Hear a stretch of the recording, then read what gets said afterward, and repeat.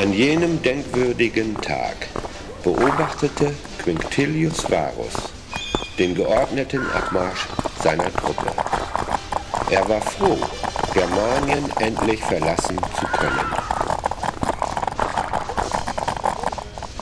Augustus war alt und sein Ableben nur noch eine Frage der Zeit. Und Varus hatte da so seine eigenen Pläne hinsichtlich einer Nachfolge. Doch der Kampf um die Kaiserkrone wird in Rom entschieden. Da war die eigene Anwesenheit erforderlich. Ja, für Varus war es an der Zeit, nach Rom zurückzukehren. Am besten als ein Sieger und am allerbesten mit einer eigenen, starken Armee.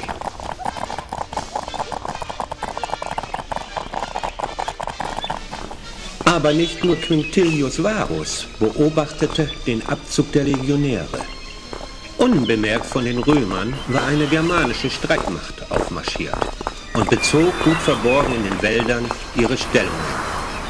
Auch dessen Anführer hatte so seine Pläne und die Fallen längst aufgestellt. Es ging um die Zukunft Germaniens und damit auch über die von Rom.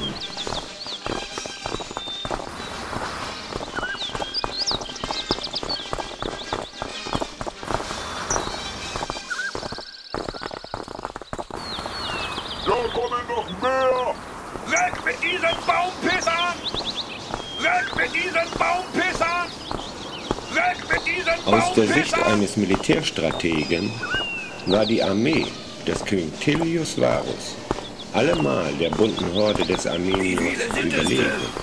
Es können nicht genug sein! Noch eines bis nach Rom?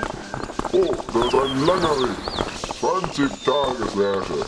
20 Tagesmärsche. Den will sollten wir ihm ersparen. Doch im Krieg wie in der Liebe gibt es keine Regeln. Und die Germanen brachen alle Regeln. So wie David einst mit seinem Gott gegen den riesigen Goliath antrat, so standen die Germanen nun auf, um dem Koloss von Rom die Stirn zu bieten. Auf in den Kampf!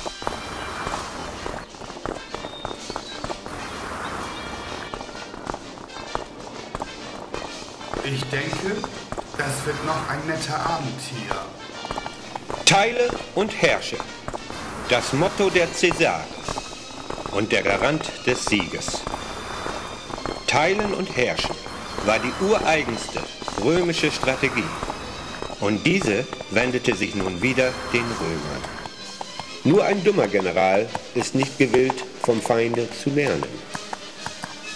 Arminius aber war alles andere als dumm. Er hatte gelernt, als Ritter in römischen Diensten.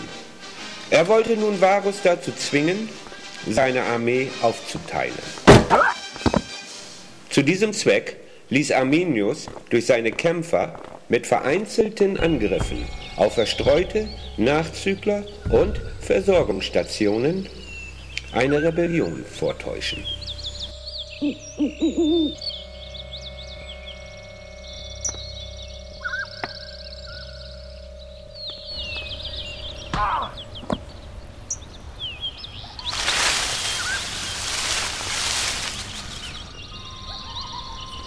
Was ist da los? Was zum Jupiter war das?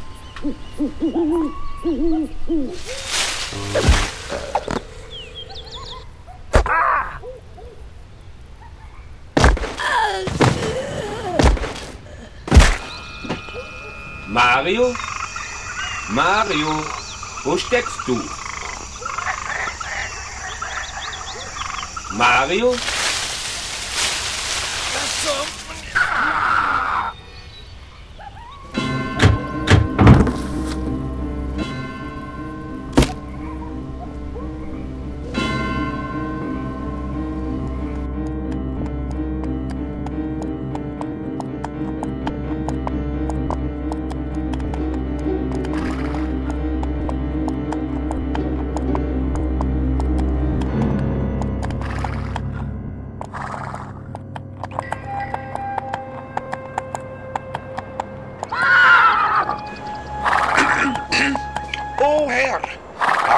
Hat einen Boten geschickt. Der sagt, die 17. Legion ist in einen Hinterhalt von Rebellen geraten. Die blockieren den Weg. Er ist mit seinen Reitern der Legion zur Hilfe geeilt. Die Kämpfe sind schwer und es sind viele Rebellen. Er bittet um Verstärkung. Auf Arminius ist Verlass. Gut. Gut. Er soll die Verstärkung bekommen. Schickt die 18. Legion mit der schweren Infanterie. Die sollten die Situation schnell in den Griff bekommen.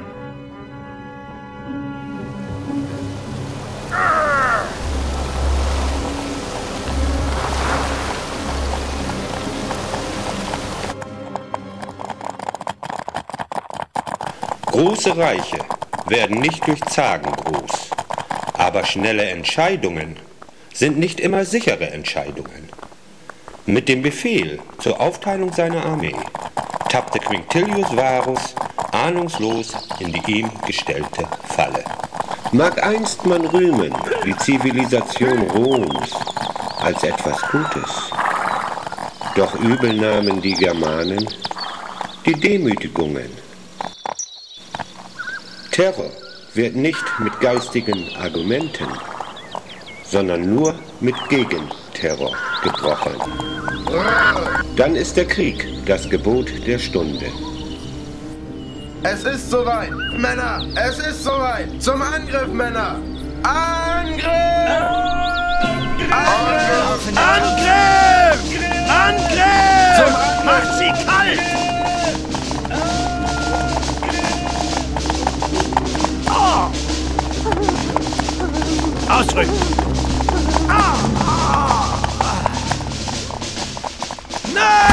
Selbst die Tapferen fürchten den plötzlichen Schrecken. Und der Schrecken kam ohne Vorwarnung. Damit war das Element der Überraschung eindeutig zum! Vorteil der Germanen.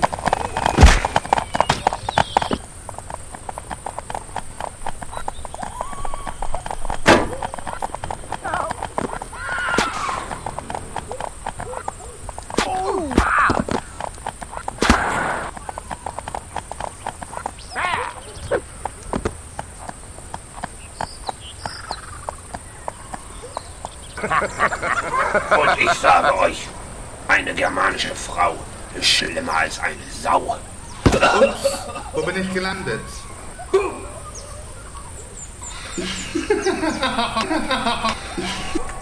Hallo, ich bin's, Siegfried. Auch die schnelle Schneide genannt. Na dann.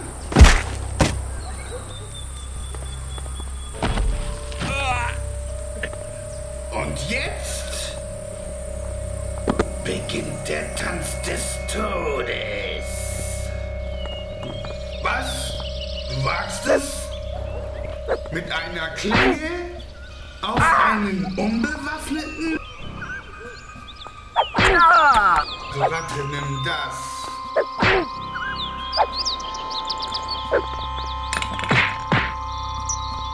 Hier, du Ratte, nimm das.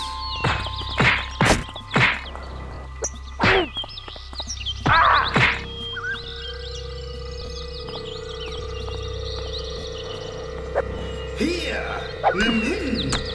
Na, wie schmeckt dir dein eigener Stahl? Übrigens, das Schwert kannst du behalten. Hier.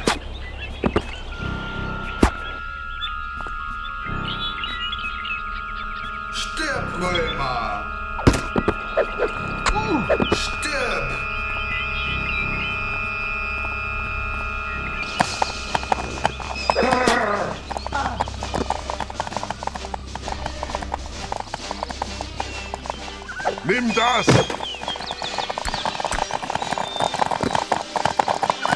Ausrücken!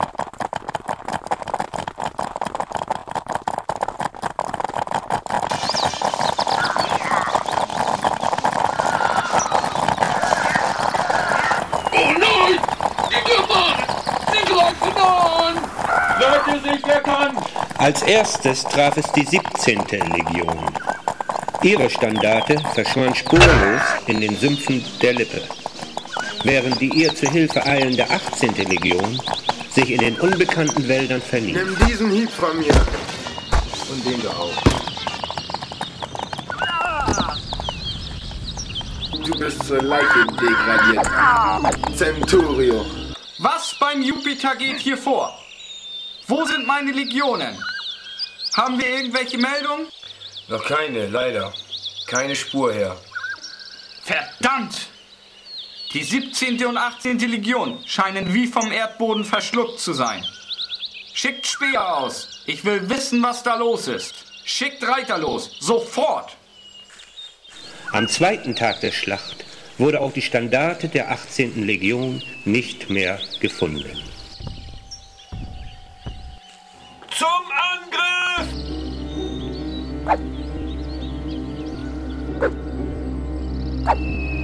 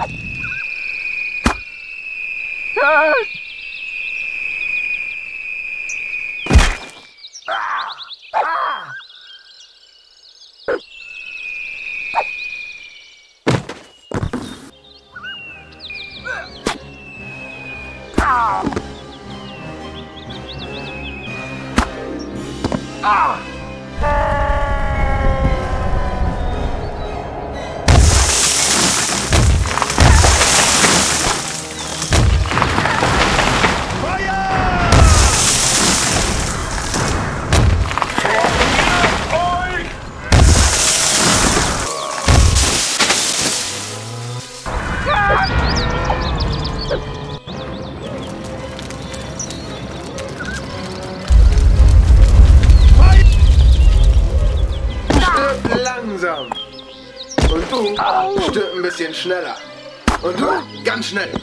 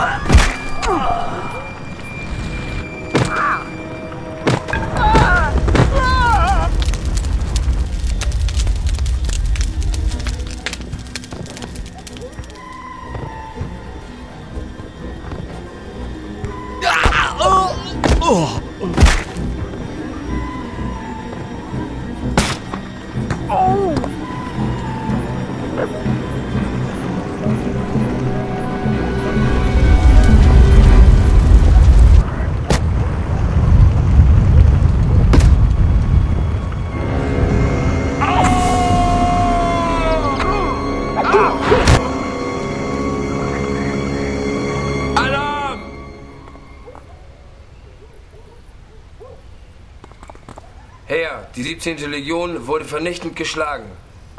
Es gibt keine Überlebenden. Was? Was ist mit Arminius und seinen Reitern? Wahrscheinlich teilt er das Schicksal der Legion und ist gefallen.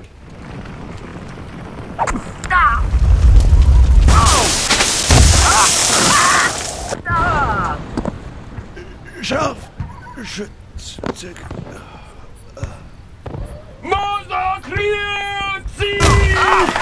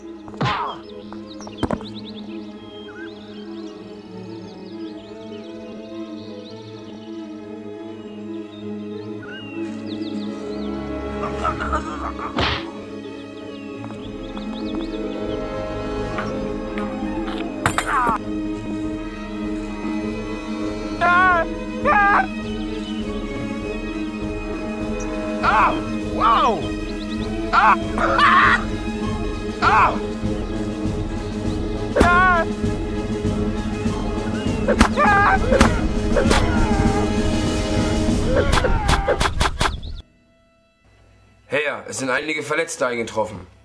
Es ist der Rest der 18. Legion. Sie hatten in den Wäldern keine Chance, so sagen sie. Verdammt! Die 19. Legion soll sich hier eingraben. Wir müssen uns verschanzen, bis Ersatz kommt. Schickt Boten in die Rheinfestung. Wir brauchen Verstärkung. Ich glaube nicht, dass da ein Reiter durchkommt. Das Gelände ist von Feinden durchseucht. Und der Pass am Ries ist von Germanen besetzt. Es soll dennoch versucht werden. Schickt Reiter los. Sofort. Ja, Herr.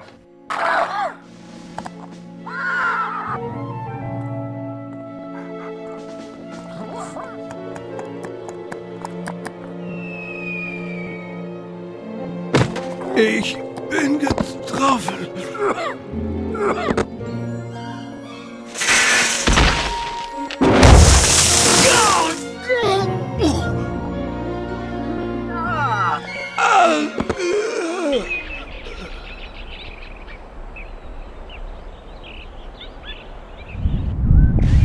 Die Götter Asgards waren den Germanen wohlgesinnt. Dona, ihr Gott des Donners, zückte seine Blitze und öffnete alle Schleusen des Himmels. Das Wetter spielte verrückt. Das trieb die Römer zur Verzweiflung. Mit eingeschränkter Sicht irrten sie orientierungslos durch die Dunkelheit. Und der Tod lauerte hinter jedem Zweig, Busch oder Baum. Einfach überall konnte ein Germane stecken.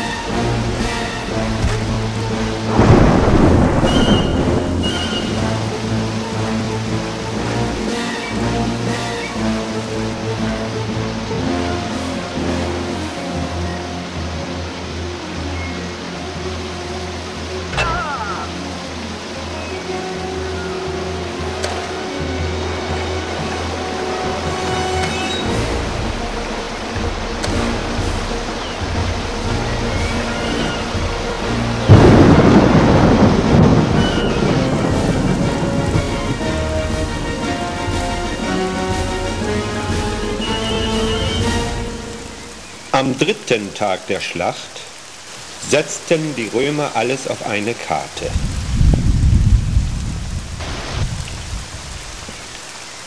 Die 19. Legion musste den Germanenwall am Ries durchbrechen. Der Weg musste freigemacht und die Blockade gebrochen werden. Eingekeilt zwischen einer Feuerwand, einem Fluss und mit germanischen Verbänden im Nacken war die Erstürmung des Passes die letzte verbliebene Möglichkeit der Vernichtung zu entgehen. Der Kampf um das Ries würde die Entscheidung bringen. Das wussten die Römer, aber auch die Germanen. Die hatten sich gut verschanzt und die Verteidigungsanlagen hatten schon zwei Tage den Anschluss der Römer erfolgreich betrotzt.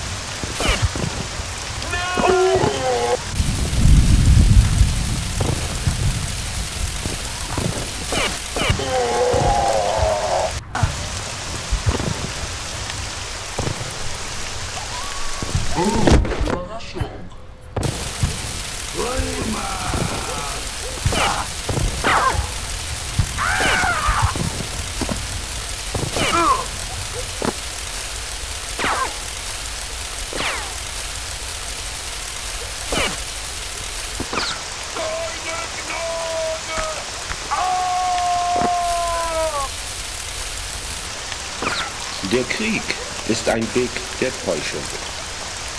Zeige dich dem Gegner so, als ob du etwas nicht tun könntest, obschon du es tun kannst.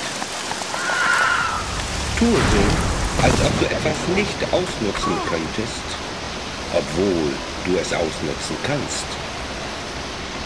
Locke ihn durch einen Vorteil an, bringe ihn in Verwirrung und packe ihn dann. Ist der Gegner stark, weiche ihm aus. Hast du ihn wütend gemacht, dann bringe ihn in Verwirrung und packe ihn dann. Spiele den Nachgiebigen, dann wird er eingebildet. Verfügt er über frische Kräfte, dann ermüde ihn.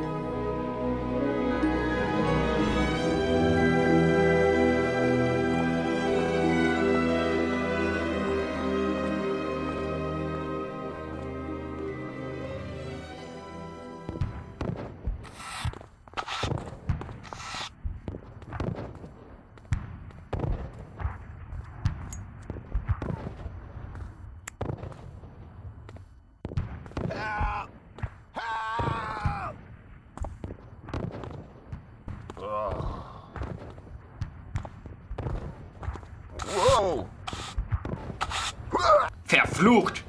Man hat mich betrogen. Verflucht soll er sein. Dieser Arminius. Dieser tückische Verräter. Ich hätte auf Segestes hören sollen. Er hatte recht. Ich wurde gewarnt und wollte nicht hören.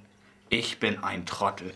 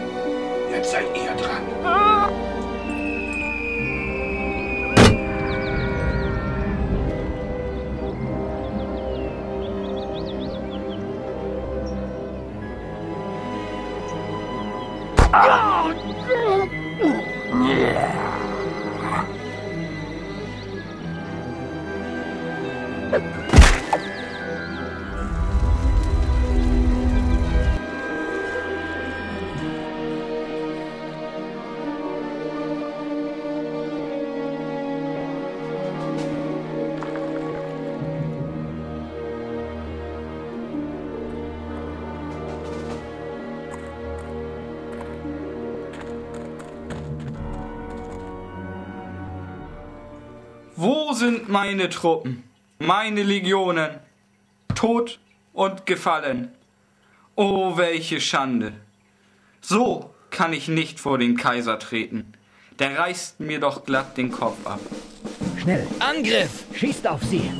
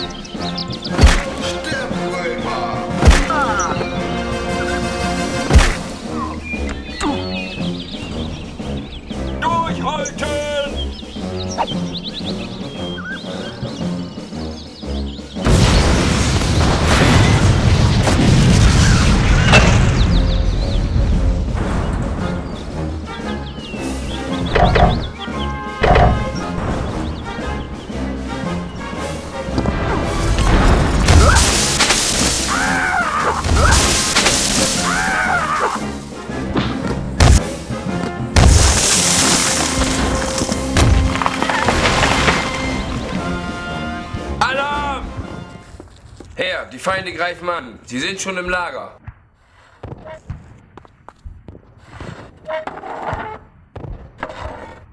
Jetzt reicht es, Soldat. Ihr bringt mir nur schlechte Nachrichten. Ich kann euch nicht mehr sehen. Wegtreten! Wegtreten, Soldat!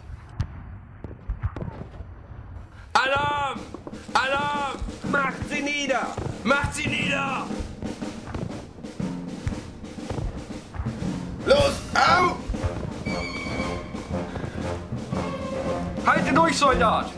Haltet die Stellung! Verstärkung ist angefordert! Haltet durch, Soldat!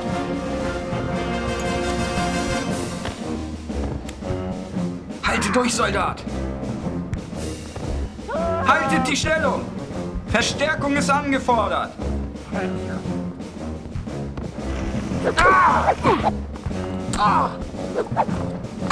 Zu den Waffen, Männer!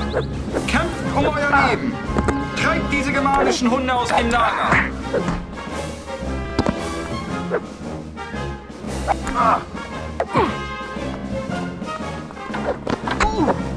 Hier, du Schwein!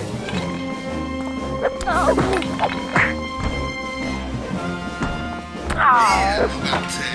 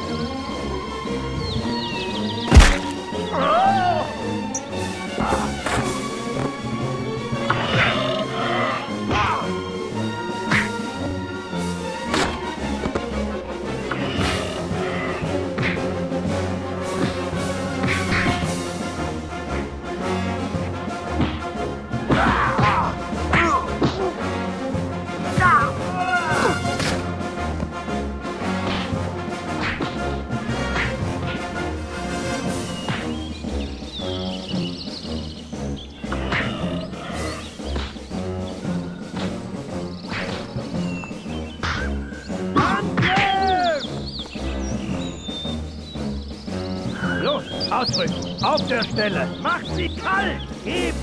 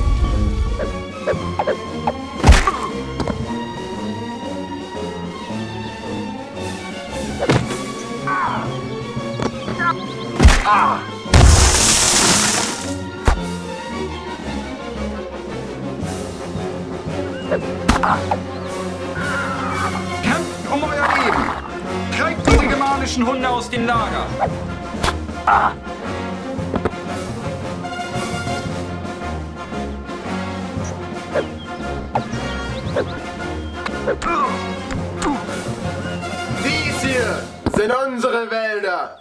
Versteht ihr das?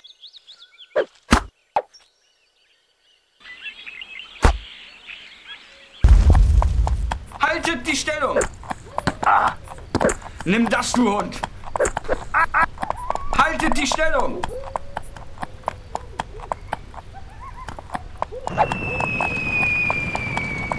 Ah,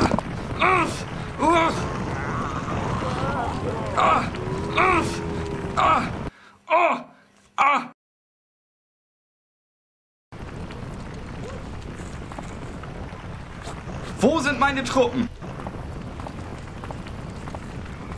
Noch einer, der durch meine Hand sterben will. Hier! Ah!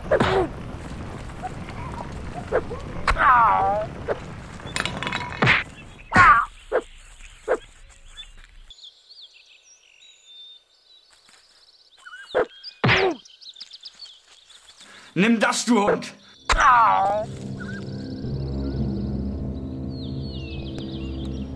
Arminius, für diesen Verrat verfluche ich dich. Dich und deine Nachfahren. Ich verfluche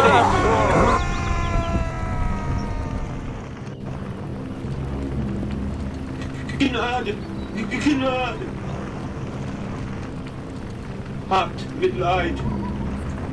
Gnade. Achtung, aufpassen. Da kommt jemand. Vorsicht, ich sehe aber niemanden. Doch, da ist jemand.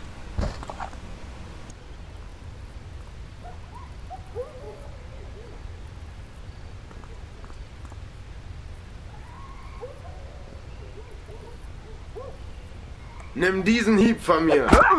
Und den auch. Und diesen. Nimm das. Jagt sie. Findet sie alle. Und lasst niemanden am Leben.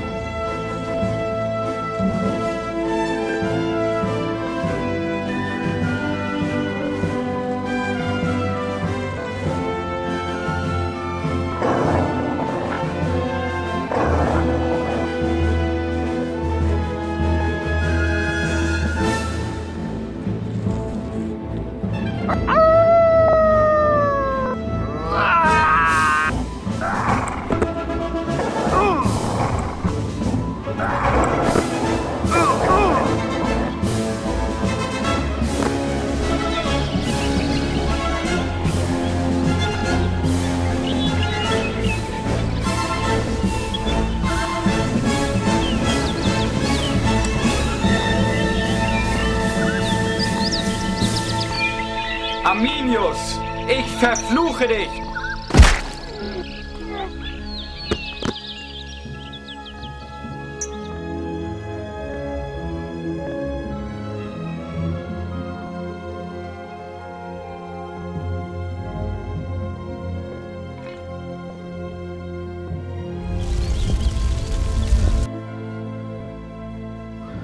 Das war's dann wohl. Wir haben gesiegt.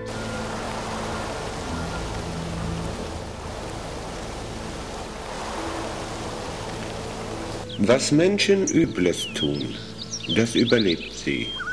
Das Gute wird oft mit ihnen begraben.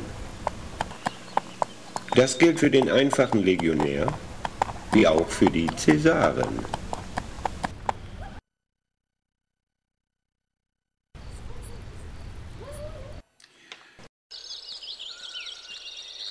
Seht her, wen ich fand.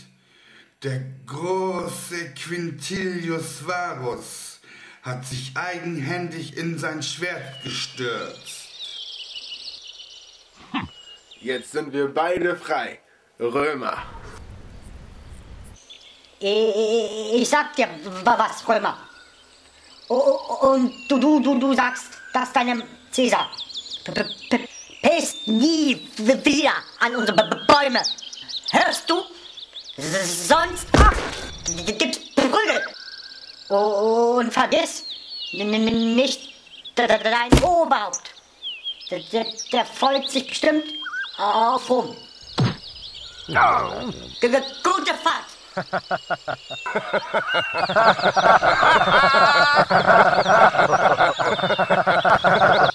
Arminius!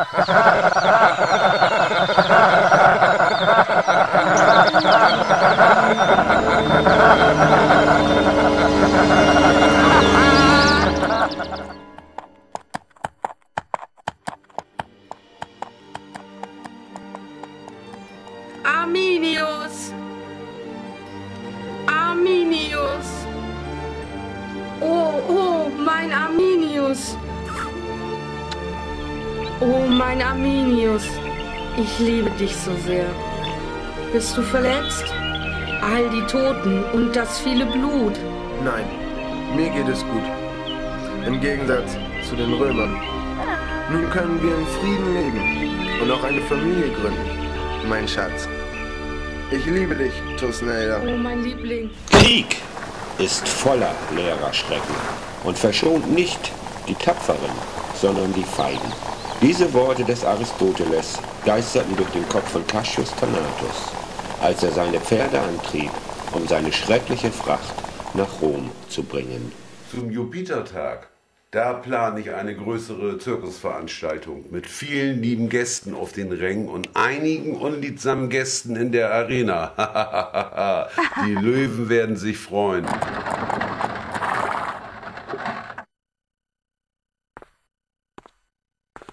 Dem Zirkusbesuch möchte ich ein Fest feiern.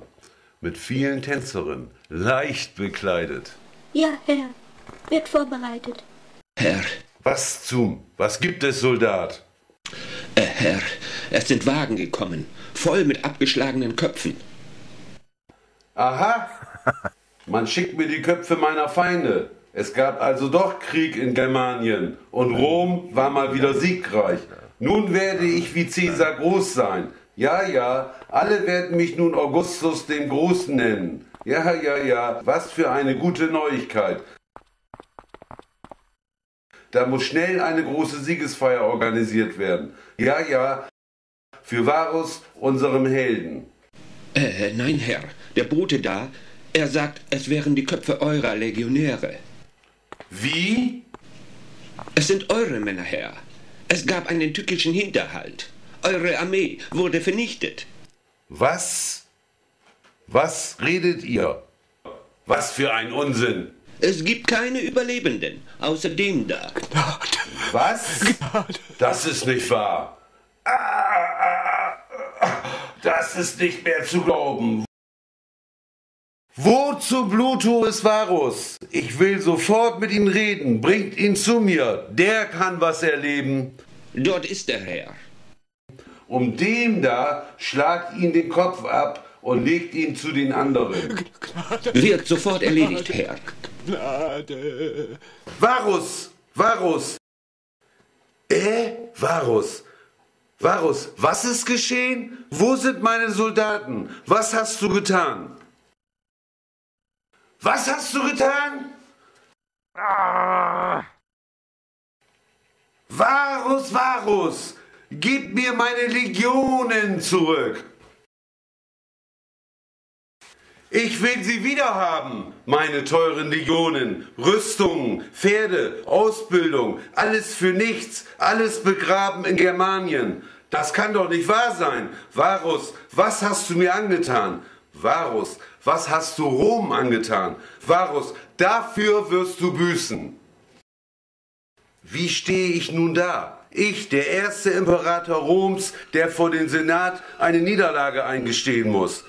Varus, du hast mich betrogen. Sieg hast du versprochen, Germanien hast du mir versprochen.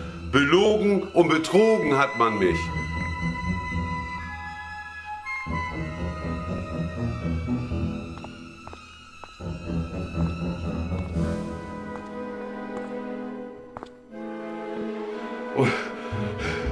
Und nun, was soll werden? Rom ist schutzlos ohne Legionäre und nicht mehr mächtig.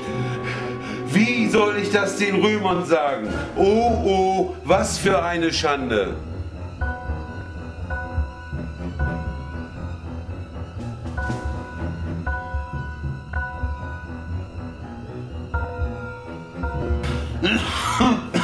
Varus, dieser Schmerz. Was für ein Schmerz, Varus, dieser Schmerz. Oh, was für eine Schande. Das ist unerträglich. Gib mir meine Legion ah, zurück. Und so begab es sich, dass Tiberius der neue Imperator Roms wurde. Wer aber glaubt, dass die Geschichte hier endet, der irrt. Nein, eigentlich fängt die Tragödie jetzt erst an. Mit Tiberius und Germanicus erwuchsen dem Arminius neue Gegner, um Germanien und deren Götter aufs Erneute herauszufordern. Aber darüber berichte ich ein anderes Mal. Heute bin ich einfach zu müde dazu.